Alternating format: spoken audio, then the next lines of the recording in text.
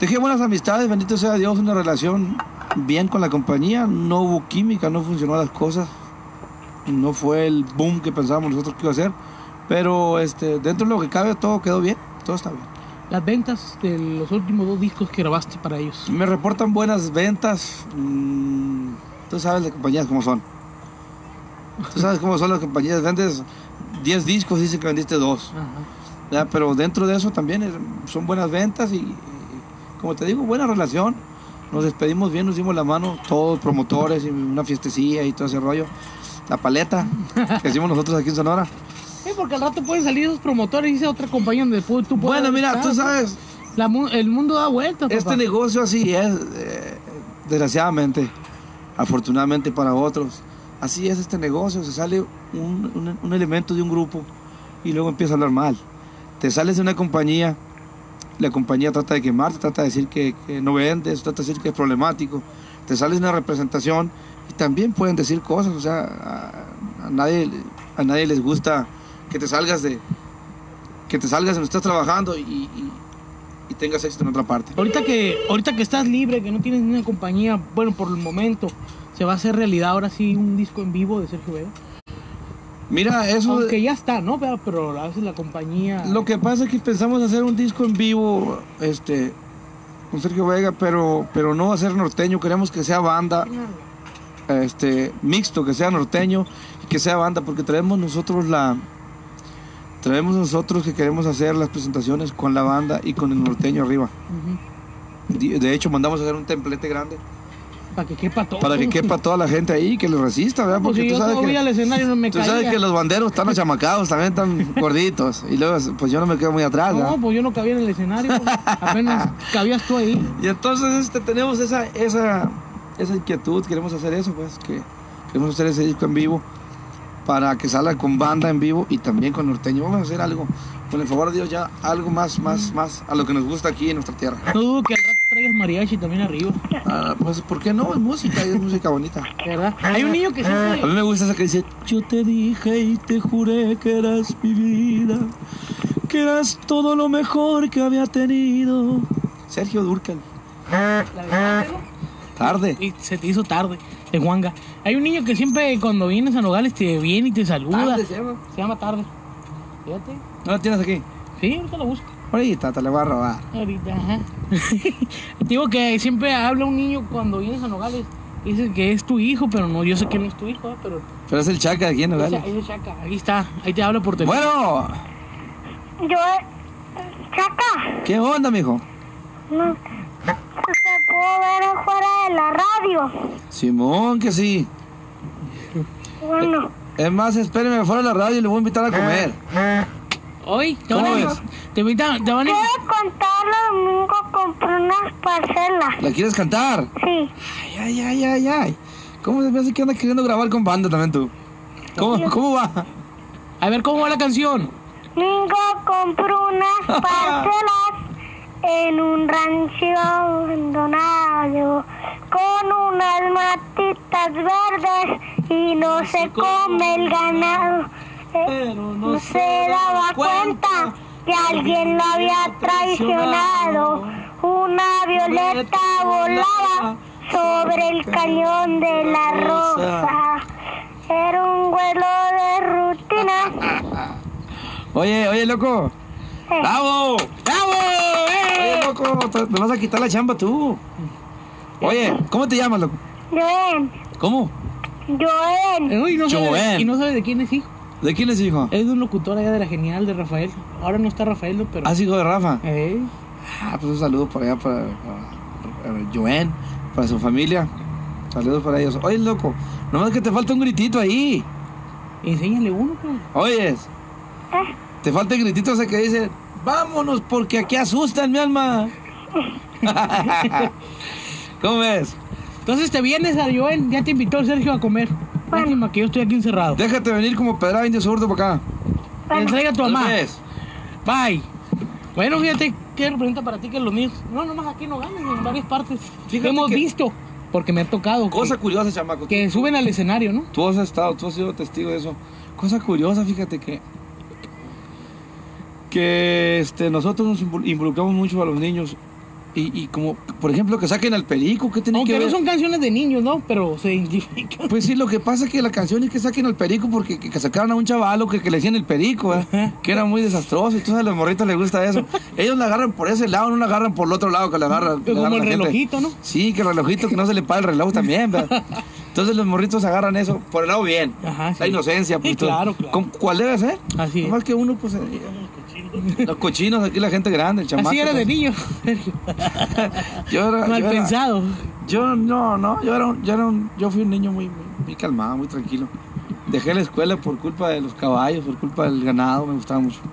El rancho. Del rancho, sí. A ver Pero- qué pasó Navidad, dice acá Fíjate que la Navidad eh, tuvimos una, una- un rollo bien a todo dar, ¿no? Pasé la Navidad yo el el 24 es cumpleaños de mamá, el 25 es cumpleaños de Chuy y el 26 es, cum- es cumpleaños de mi compadre Carlos, que canta con banda también. Este, y no, no pasamos, no pasé la Nochebuena con mi mamá, tuvimos una promoción acá en Hermosillo, que teníamos que hacer una, una comida, ¿no? Una serenata en una casa. Me iban a invitar a comer a mí. Y yo iba a tocar ahí, ¿verdad? No, ¿qué andas haciendo?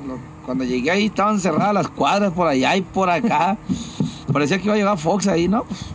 Me creí un ratito, ¿no? Fox Vega. No, pero muy bonito, fíjate, muy bonito. Toda la familia, tus abuelos y todo lo de la grabado familia. en video, fíjate. Muchos niños y, y, y hasta, hasta lloré ahí, ¿no? Me, se me doló el filo porque estaba viendo todos los niños.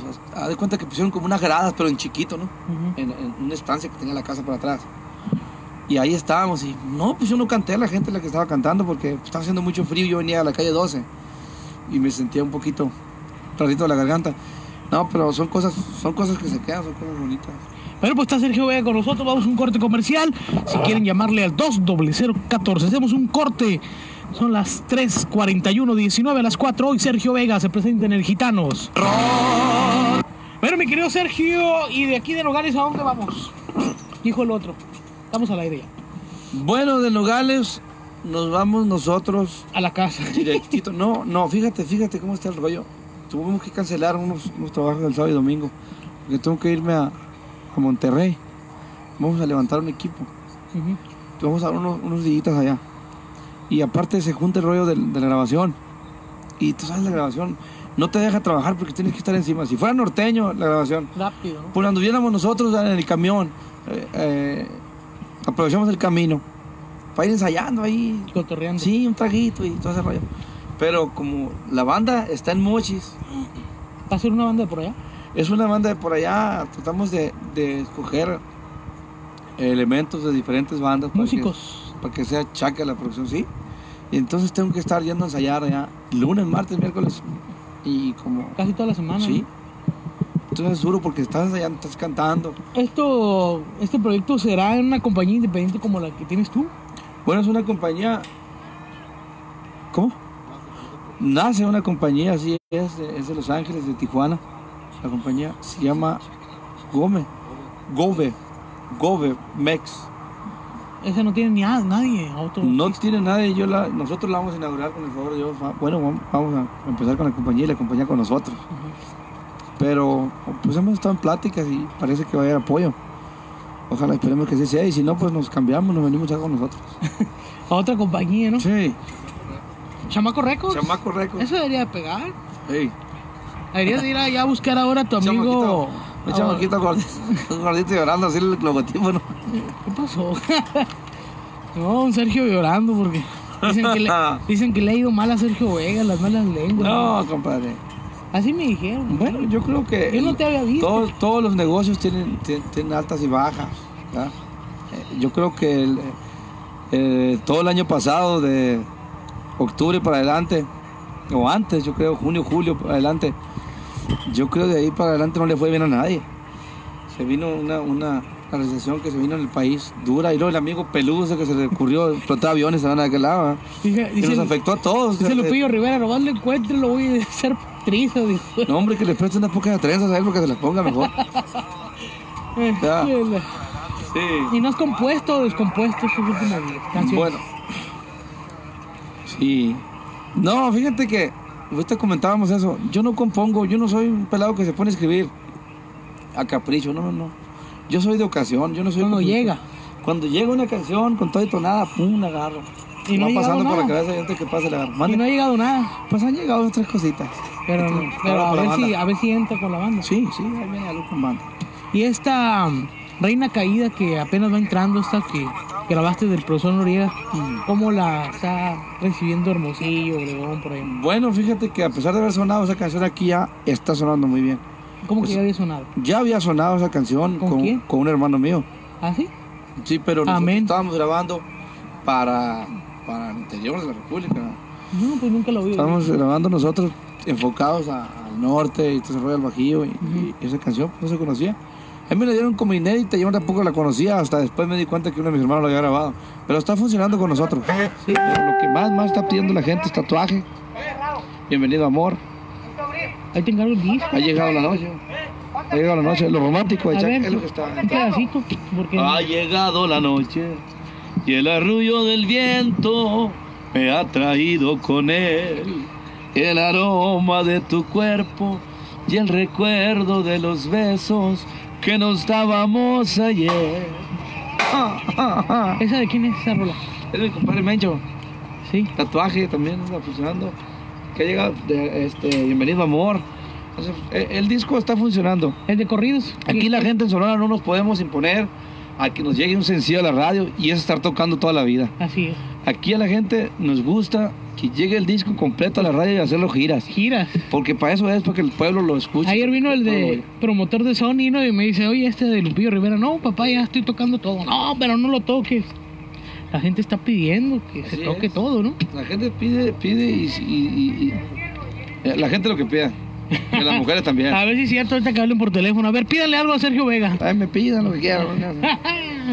y tu catálogo lo siguen solicitando en las presentaciones, ¿no? Bendito Dios, tiene, tiene, tiene también, se está vendiendo bien el, el catálogo, el que es Pase y Pase, 30 años, corridos chacas. El telegrama, ¿no?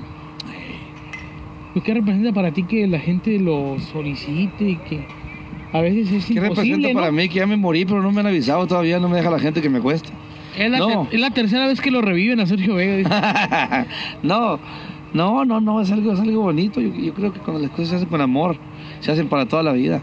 Cuando uno hace un hijo con todo el amor, con una mujer, es para toda la vida. Ese niño viene con todo el amor, viene con toda la ley del monte. Hablando de hijos, no has hecho ni un hijo por ahí. No, Últimamente, ¿no? Uy, lo que dice que hay un montón, dice. ¿Qué pasó? Bueno, aquí trae uno nuevo. ¿no? Esta noche estamos de gitanos, chamaco. Ajá. Ah, No, lo que pasa es que yo digo, vamos a tener, vamos, a parir, vamos a tener un hijo. Ajá. Cuando vamos a grabar, cuando vamos a... Aquí traes un nuevo hijo. ¿eh? ¿Qué nos puedes... ¿De dónde viene este muchacho? Bueno, este muchacho es, originario de Chihuahua, este, criado en Ciudad Obregón, pero sus raíces, toda su familia está en Chihuahua. Pero, a ver, A ver, jovenazo, ¿cómo llegaste a Sergio Vega? ¿O cómo lo conociste o qué? Platícanos algo. Pues ahí ¿Eh? No sé ni cómo llegué, pero llegué con ella. Sí. Y, y poco a poco te estás aprendiendo. Eh, A no, ver. pues yo llegaba ahí a ver qué, qué aprendí ahí con ellos. Ajá. Y pues me dieron la oportunidad ahí de, de entrar al, al grupo. Ya tenía rato yo con ellos, estaba ensayando. ¿cómo llegaste a Vega? ¿Cómo lo conociste